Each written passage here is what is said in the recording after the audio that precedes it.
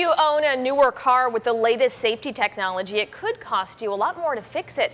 That's according to the latest research from AAA. It says vehicles equipped with advanced driver assistance systems like those with automatic emergency braking, blind spot monitoring, or lane departure warning can cost twice as much to repair after a crash.